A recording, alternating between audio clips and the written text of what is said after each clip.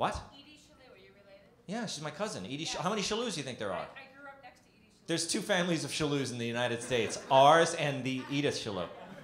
It's amazing. She's a writer, isn't she? I don't know a lot about my family. Doesn't she write? You don't. She's like, I, didn't, I don't really care.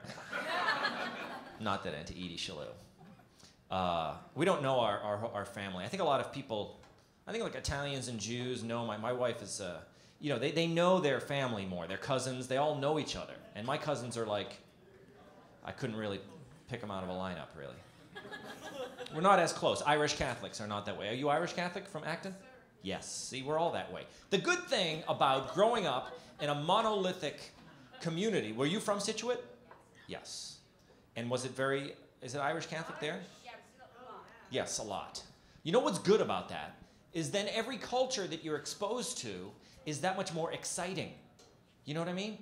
Like, uh, you know, when I was a kid, me and my brother get all excited that one day a week in the summer months, we'd have taco night. we'd put on our guns and be like, Andre, Andre, Iba, Iba. it's taco night. And it was just hamburger helper in a frozen taco shell. But that was Mexican fare to us. The little Fritos on the side, right? Fritos was Mexican food to us. Fritos, me and brother would be like, oh, it's spicy, ah, caliente. What they put on there, those Fritos, they were hot. Fritos in the 70s. Do you guys remember who the spokesman for Fritos was? Bandito. The Bandito, right? The Frito Bandito, he was on the bag. I tell my, you know, a lot of my b- buddies who are comics, they're all younger than me, and I say, yeah, the Frito Bandito, they don't believe me. He was in the commercials.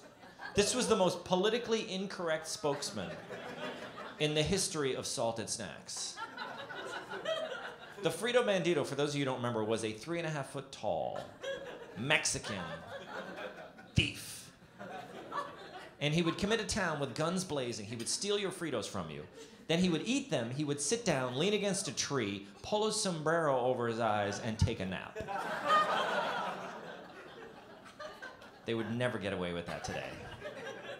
Frito bandita.